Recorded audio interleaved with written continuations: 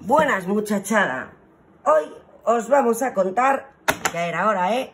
Chirimiri de Fernando Pérez Hernando, editorial Calandraca.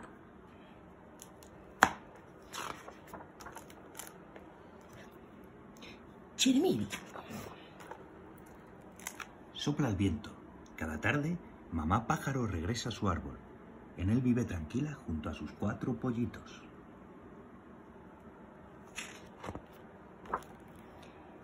En la copa del árbol vive Ruth, que solo pilla con la letra U.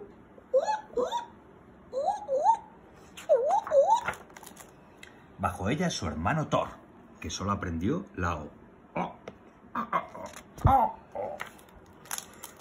Una rama más abajo vive Lili, que solo trina con la letra I.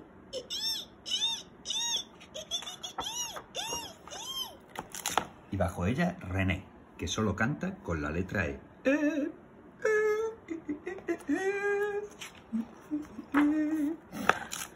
Al otro lado del árbol descansa su mamá, que sabe hasta la letra. De pronto comenzó a llover y se mojó la cabeza de Ruth.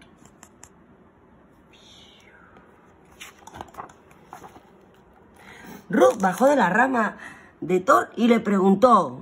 ¿Puedo quedarme con tu gusto cupuru de yogur? Por supuesto, contestó Thor.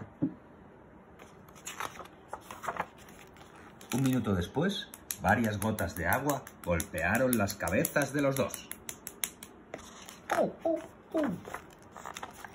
Ruth y Thor bajaron a la rama de Lili y le preguntaron. ¿Podemos quedarnos con tu ostocuporo do yogur?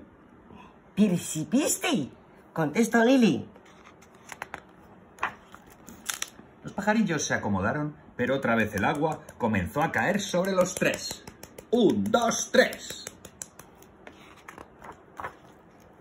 Ruth, Thor y Lili, empapados, volaron hasta la rama de René y le preguntaron. ¿Podemos quedarnos contigo ostocupori do yogur? Persepeste, contestó René.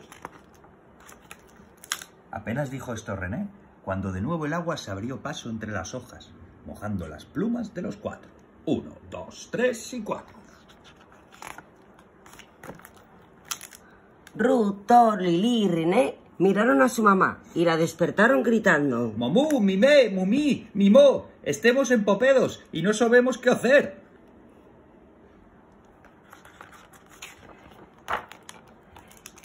Venid conmigo a este otro lado del árbol, les dijo ella. Muchas gracias, mamá, eres la mejor, gritaron los pollitos a coro. Y juntos los cinco se acurrucaron. Pero soplaba el viento. Ah, ah, Oh, oh, uh, uh, eh, eh. i, i. Ah, ah. Y colorín colorado, Este cuento se ha acabado.